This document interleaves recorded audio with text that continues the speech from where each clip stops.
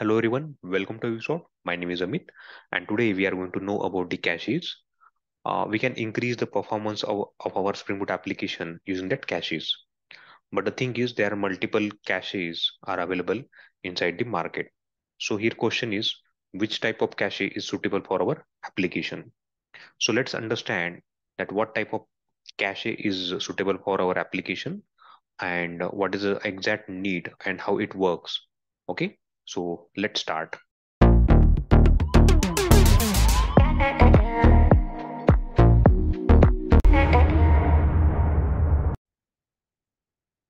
So before jump onto the code, let's understand what is the need of cache and what type of cache uh, we can use in what scenarios because there are multiple types of cache in the market. Now let's understand and uh, let's take one example. Uh, so let's see we have browser and in browser we are trying to access one website called as a find weather. When we are trying to find the weathers then it will call to the server and server has Spring Boot application. Once Spring Boot application receive that request uh, then it calls to the database and this database has all information of the weather. But as we know that information will uh, keep changing after one hour okay after the one hour.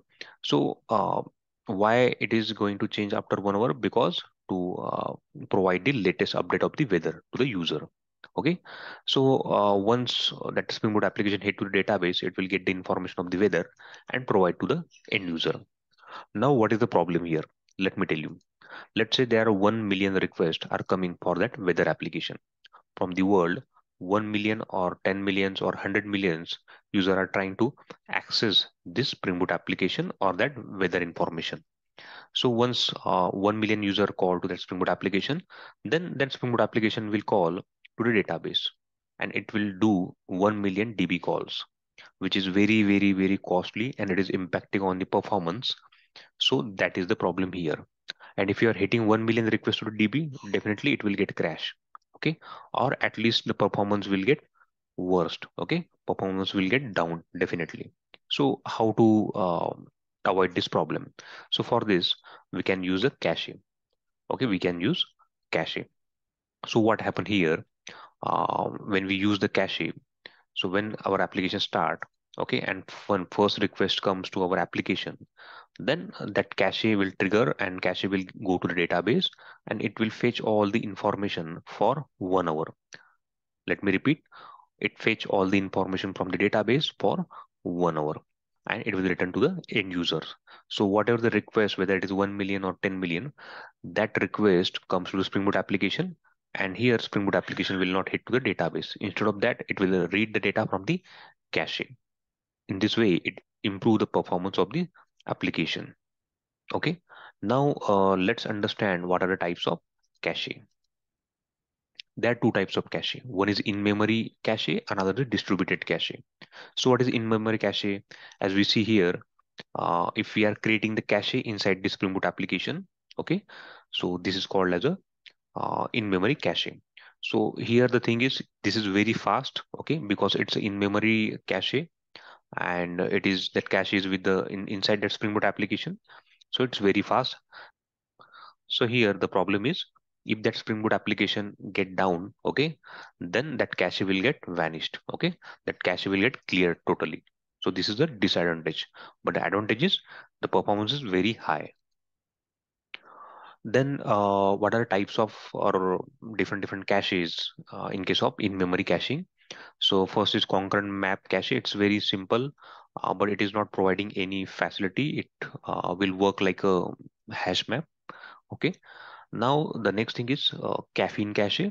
So it's a library which provide a uh, lot of features like deleting the cache or if you want to expire that cache after a particular time, then we can uh, provide such kind of inputs to that cache. So basically in, in uh, many projects, you will see that caffeine cache and it is widely used in the applications. Now, what about the distributed caching? So let me clear you.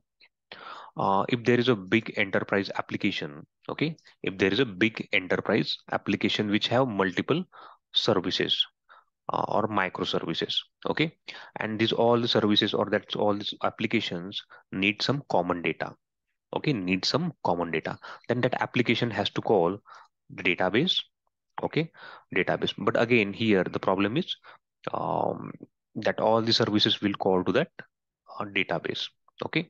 Even if even it uh, use the in-memory cache in each service then still that data is going to duplicate. For example we have 100 100 microservices and in 100 microservices we are using the in-memory um, that caching then that same data will get duplicated in every application and which make all the applications heavy. So uh, what is the solution on that so let me tell you what is the solution. So here we can go for distributed caching.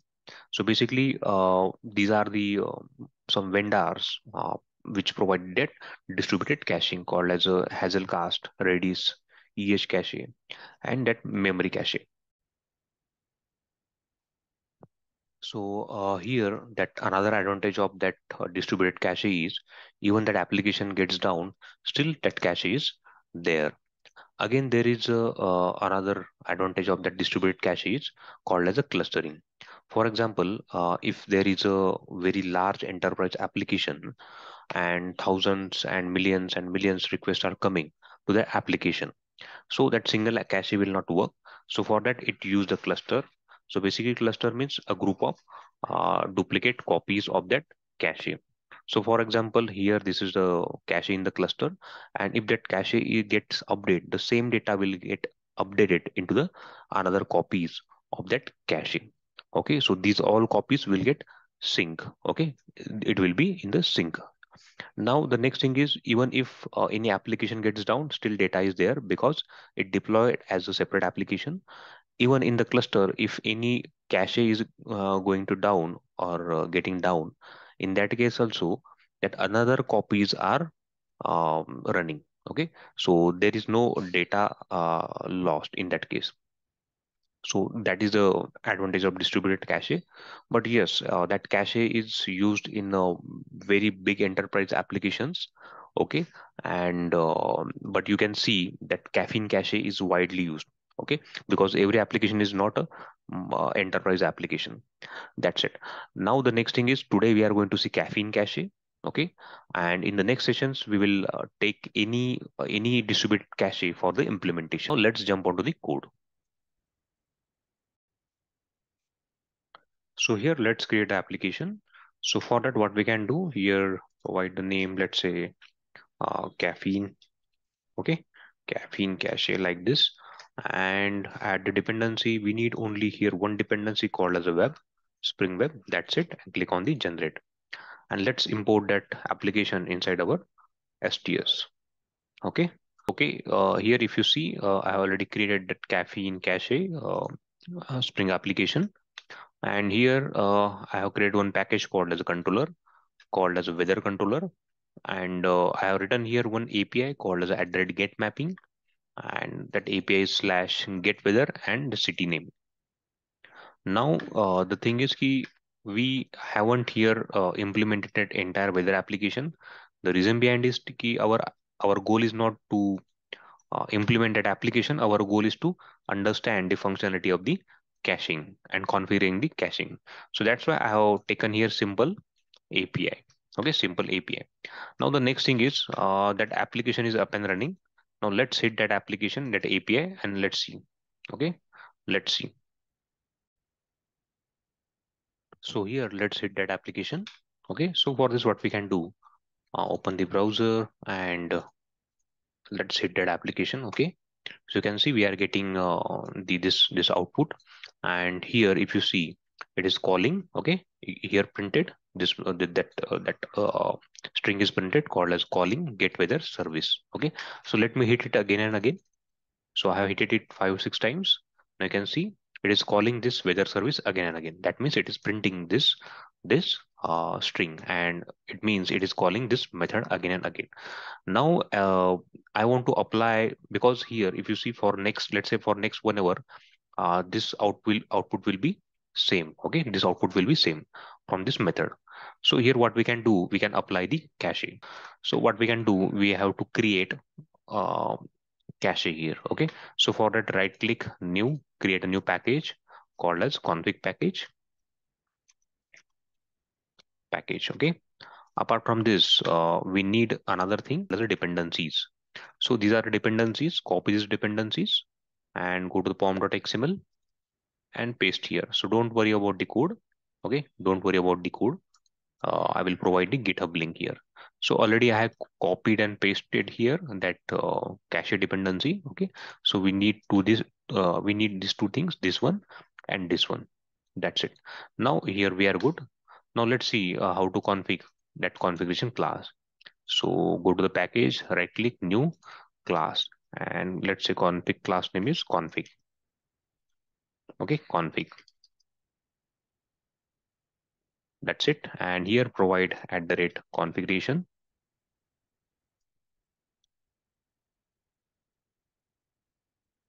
Okay.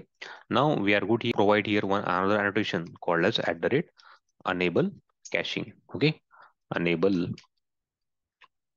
caching. That's it.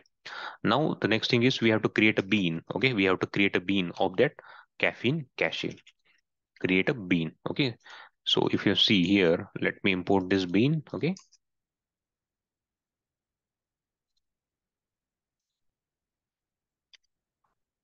That's it. And here we are good.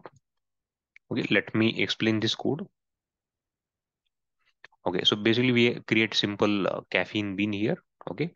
And the method name is caffeine config and here we are returning that caffeine bean. So before returning we need to configure that bean. So there is a new builder okay new builder method which is responsible for to create an object. Once that object is created we are calling uh, or we are setting some configurations. For example expire after write okay expire after write. That means uh, we can provide here that uh, expiration time of that cache so let's say i want to uh, i want to expire that cache within one minute. Then i can give here one minute. Now i want to expire this cache within a five seconds okay? Five seconds or let's say three seconds. Then i can provide here that value. And here you have to change the time unit. So if i want seconds okay then you can uh, use your seconds. Now the next thing is we have to configure here manager okay so i'm copying the things to save the time okay? Otherwise that video size will get extended and okay so anyway so see here okay? So after this we have to configure that cache manager bean in which we have to write a method called a cache manager return type is a cache manager and we have to pass that caffeine caffeine here all right?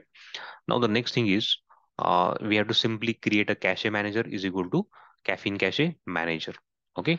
Once we created that cache caffeine cache manager uh, object inside that object we have to set that caffeine. Okay? We have to set that caffeine uh, cache which is already created here. So basically what happened when spring boot start it will create first this bean. Once that bean is created after this when it going to uh, start creating this bean then it will pass uh, while creating the bean it will call this method. And while calling this method it pass that bean of caffeine. Okay here in that method uh, as an input argument. Once it pass, then that we um, configured, we can uh, we are ready with that cache manager. Our our caching is ready. Now how to cache? Okay, so let's go to the controller and here provide annotation called as at the rate cache uh, cacheable. Okay, cacheable. That's it, and you can provide here any name. Let's say my cache okay that's it. My cache now the next thing is uh, let's see will it cache or not okay? Okay so let's hit that url and let's see that cache will work or not. But before hitting to that cache let me tell you the flow of the execution. So here first when we hit uh, first time to that method or that url that it will execute that actual logic okay? And it will return that data before return uh, it will store that data inside the uh, cache okay inside the cache. On second request okay if second is user second user is calling this this url on second time first it will check that data is present into the cache or not. If it is present then it will pick that data from the cache and it will return. It will not go inside this method. So before execution of this method it will pick the data from the cache that's it. So in that way it will work. And uh, it's magic right? How internal it is working. So basically it uh, apply that aop aspect oriented programming concept here uh, internally okay? That's it. So in that way that cache will work and let's hit uh, will it work really or not. Okay so this is the url uh, let me hit this.